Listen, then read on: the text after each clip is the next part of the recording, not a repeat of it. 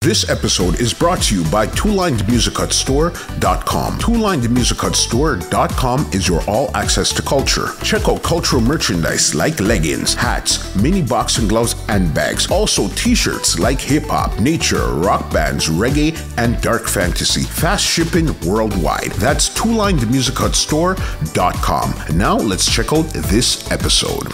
Because of somebody like you, that's why we have like a Vybz Kartel, a Mavado, and these artists today because of somebody like you, what you did 40, 50 years ago.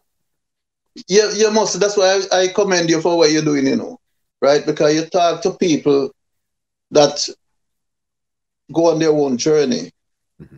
right? You have a lot of unsung heroes out there mm-hmm. who nobody hear from them because Jamaica as a um Jamaica has a, a, a way I call it now, a,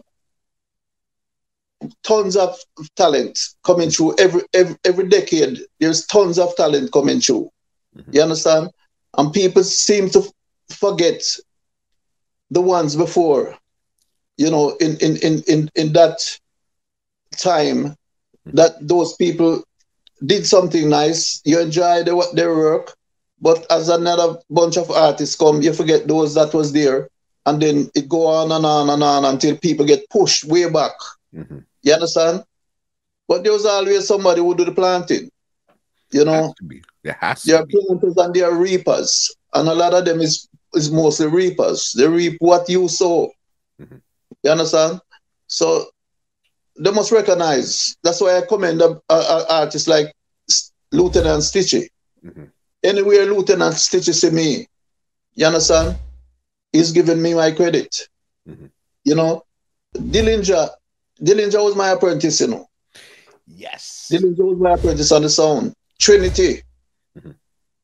Right? The world of it come from in one little circle.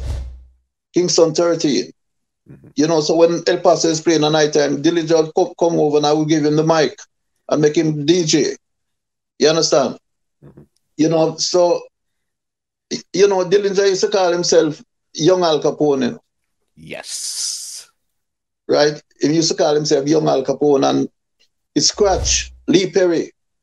Lee Perry said to him, um, when he went to record for Lee Perry, Lee Perry said to him, No, you can't name Young Al Capone. There's Al Capone already. Mm-hmm. You are Dillinger. Mm. Lee Perry gave him that name. You understand? Mm-hmm. So one and watch the other you know, and we are not here to pull down each other, right? We are here to elevate each other. Let the crowd decide because one DJ have, have his fun, the other DJ have, have, have his fun, and it goes on and on. You understand? Let the crowd decide. Don't pull down other people. That's not nice. Makes sense. You ride a king, and he always be a king. You understand? This podcast is brought to you by www.twolinedmusichut.com.